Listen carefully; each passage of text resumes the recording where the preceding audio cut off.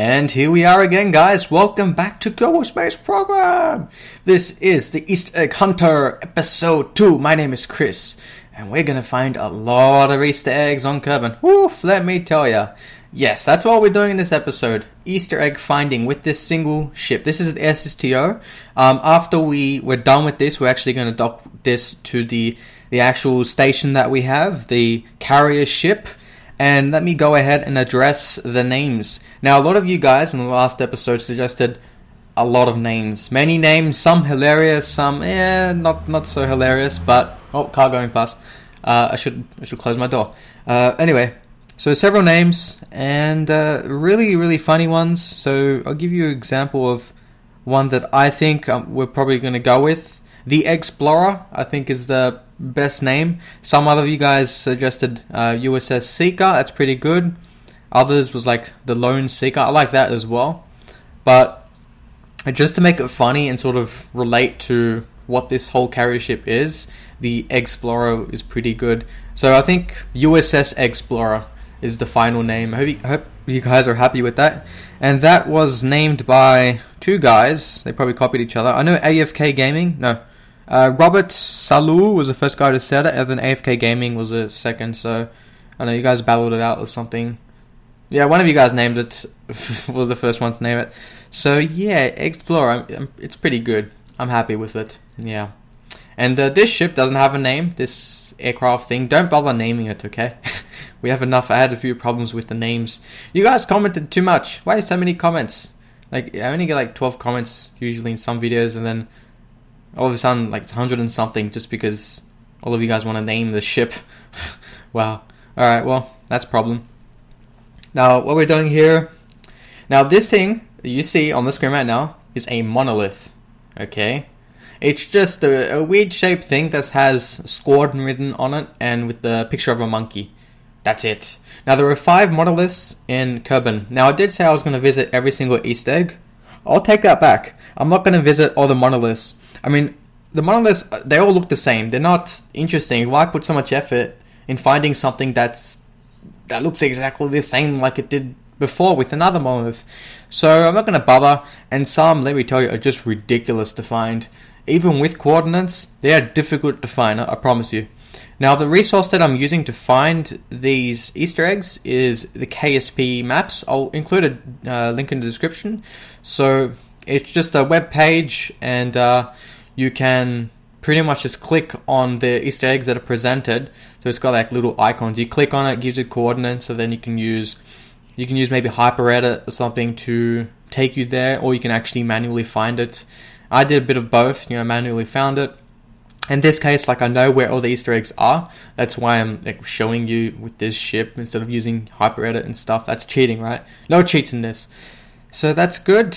Uh, this here, uh, you may have noticed, I'm actually naming, like I go around with the names of the Easter eggs. So we already showed like the monolith, and we had one out of five written there, and then the uh, the MK1 pod memorial. I'm not really sure about the MK1 pod actually. See, like, there's no real explanation as to why there isn't a memorial for it. I looked online, couldn't find anything on it. Do you guys know anything about that? Uh, but there could be a link between the memorial and this MK1 pod here. Mm. See, the the idea is this MK1 pod here is actually like a scorched. It's been burnt. It's, it's damaged, right? And so that could link up to the memorial that was done right outside KSC. You see, so maybe these two link. And there we go, scorched MK1 pod, liquid fuel tank, and LV245 rocket, blah blah blah. Okay, you guys get the point. The fuel tank looks pretty good, and the rocket engine. That's not scorched. So, hmm, how do they relate? And you know what? That wouldn't look very good if you attached the that fuel tank there under the MK1 pod. That wouldn't look very good.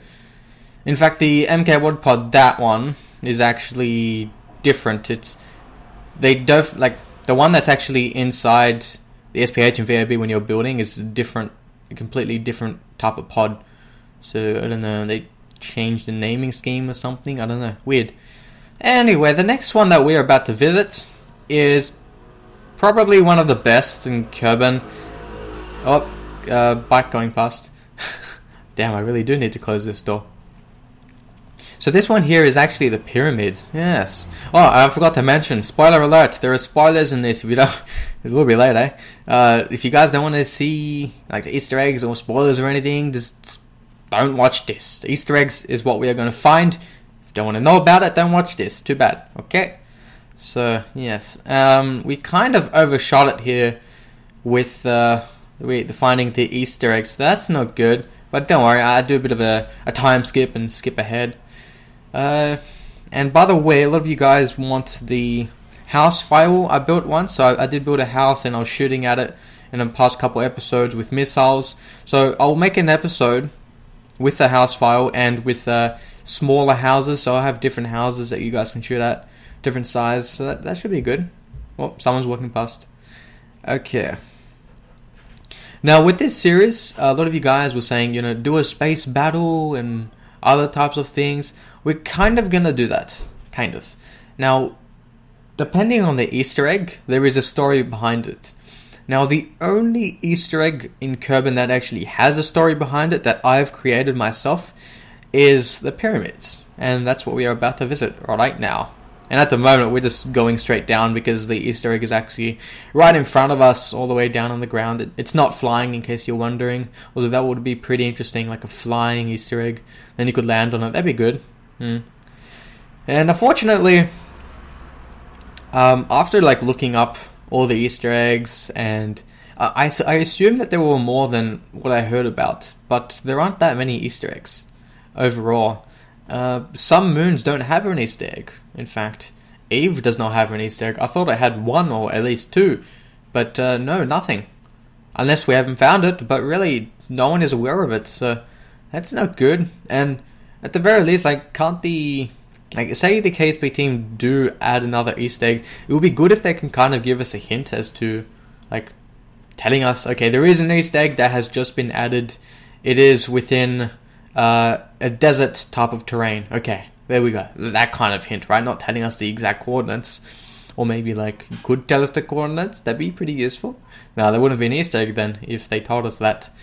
Anyways, look at that. A, a desert temple. Yep. So uh, pretty soon you will got you guys will see like a kind of like a cinematic shot of me going to Duna. Uh, it's related to the desert temple and each time I find like a particular Easter egg that is related, you will see uh, me doing the cinematic. And eventually, I'll cut out all the cinematics and put them into one video so you guys can understand what I'm doing here. It might be a little bit complex. Complex. Um, so that's like an old-fashioned Kerbal. He's a little bit of an angle. In fact, you'd be surprised, but there are. There's a bit of an exaggeration. A secret. This is part of the story. So there are coordinates around here, and uh, the coordinates actually lead to Duna on a specific, specific spot on Duna. That's where the coordinates lead. So here we go, cinematic. Prepare for the amazing cinematic. So this guy here is I don't know who he is. Let's just call him. Let's name a Kerbal. Name a Kerbal. Uh, I will call him Easter Egg Bunny. What? Easter Bunny. Yeah, that's a good one. Nice cinematic. Look at that. I changed the contrast a little bit and looks looks pretty good. Yeah, not a bad design, right? It did reach uh, reaches it goes to Duna. It's quite simple, so I don't know. If you guys want that design too, tell me. Giving away too many designs, aren't I? Design this, design that. Oh, there's Duna. That was quick. yeah, and once I cut down, cut all these cinematics out of the episodes, I'll like have like peaceful music. I won't be talking over it, but I'm just talking for now, so you guys can get a feel for what we're trying to do here. And there we go. Bit of a lag spike, all that terrain generation. Yes, so there we go. That's the end of that cinematic. You get to see what it is soon enough. The next Easter egg. Whoop, whoop. What happened with the ship? Yes, the. I like the design here. Uh, but the turn rating is, is well, the pitch is like crazy. Let me tell you. Oof. Yeah, it is pretty bad. Uh, so let me uh, let me get on the web for a second. Uh, Doing a lot of things actually. If you're wondering why the videos have been kind of delayed lately, for like a couple days, it's because I have important things going on in my life. That's always top priority because if my life fails, then YouTube fails. Just let you guys know. Yes. Mm-hmm. And there it is. You can see like a little dot down there on the ground. Yes, that's the Easter egg. and some of you may may know what this is. So I advise you to compare this. This is the inland KSC with the updated KSC. Look at that. Look at the difference. That's how the old KSC looked, and not exactly in that position. The spacing looks a little bit weird, and I do remember there was a runway here. They must have taken it out because of the terrain generation. In fact, uh, there was a big valley all around this once before in an older update. This was more hidden, but now it's kind of exposed on one side, like right behind us. It's it's open area. There's no mountains. So yeah, this is just me. This is just me being silly, flying around, trying to stall the aircraft. So that's fun. I was doing a bit of reading recently, and found out that uh, when planes were being made, more specifically monoplanes, not biplanes, monoplanes, uh, when an airplane pilot was coming from a uh, how do I say this? A dive. So it just came from a dive. Sometimes the airplane wings would just break off. That would have spelled death. And I don't know if they had a evacuation type of seat. Oh, that's another monolith right there. Monolith. Uh, I don't know why the monolith was placed like right next to this inland KSC. Is there any point in having two Easter eggs right next to each other? Is there? I don't know what the reason is for. Unless they don't consider the monolith an Easter egg. Huh? They probably do, but it's just not a very good one. It's not fancy, it's not unique, it's just the same thing. And it is all around the Kerbal system. So, yes. Uh, th- yeah, yeah. I'm still flying this thing and it's smashed. That's just me being silly. At least it works, but right? I mean, not normally. It's not every day you have a craft that smashes and still works. Let me tell you, that's a rare thing. But don't worry, it works fine, kind of. Alright, oh, another car going past. That's great. Uh, next episode, we will be going to the moon.